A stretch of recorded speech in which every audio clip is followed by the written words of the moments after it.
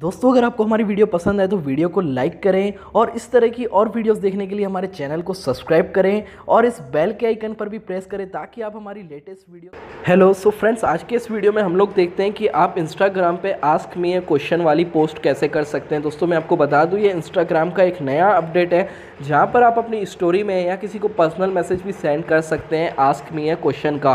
तो दोस्तों, जैसे कि मैंने यहाँ पर अपनी स्टोरी में पोस्ट किया हुआ है, आप देख सकते हैं आस्क मी ए क्वेश्चन लिखा हुआ है और यहाँ पर सिंपली कोई भी कुछ टाइप करके वो मेरे से पूछ पाएगा, जो कि मेरे को मेरे स्टोरी में दिखेगा नोटिफिकेशन आ जाएगा और मैं उसको रिप्लाई भी कर पाऊँगा। फिर सारे लोग हमारी स्टोरी में ये क्वेश्चन एंड आंसर को देख पाएँगे, लेकिन ये नहीं देख पाएँगे कि क्वेश्चन किसने किया है। लेकिन क्वेश्चन एंड आंसर को देख पाएँगे। तो दोस्तों, काफ़ी इंटरेस्टिंग और अच्छा अपडेट है ये इंस्टाग्राम का।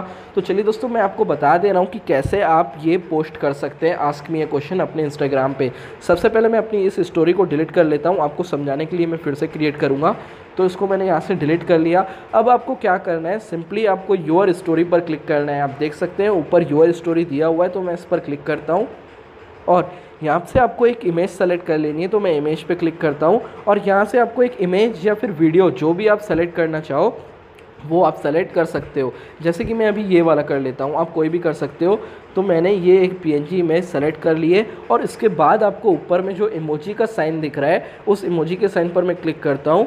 और इसके बाद आपको यहाँ सेंटर में देखने को मिलेगा क्वेश्चंस ये एक नया अपडेट है इंस्टाग्राम का यहाँ क्वेश्चंस पर आप क्लिक करोगे तो यहाँ पर आपको मिल गया है आस्क मी ए क्वेश्चन और आप इसको एडजस्ट कर सकते हो। अपने स्क्रीन में आप इसको कहाँ रखना चाहते हो रोटेट भी कर सकते हो डबल फिंगर को रख के और आप इसको रोटेट भी कर सकते हो। फिर आपको जहाँ भी रखना है आप इसको रख के और सिंपली यहाँ पर आपको नीचे यूअर स्टोरी और सेंड टू दिया हुआ है। तो मैं यहाँ पर इसको अपने स्टोरी में कर देता हूँ और ये मेरे स्टोरी में पोस्ट हो चुका है। तो दोस्तों, बस काफ़ी सिंपल है। आप इसको यूअर स्टोरी में इस तरीके से पोस्ट कर सकते हो। बस दोस्तों, आज के वीडियो में इतनी वीडियो अच्छी लगी तो प्लीज़ लाइक करना।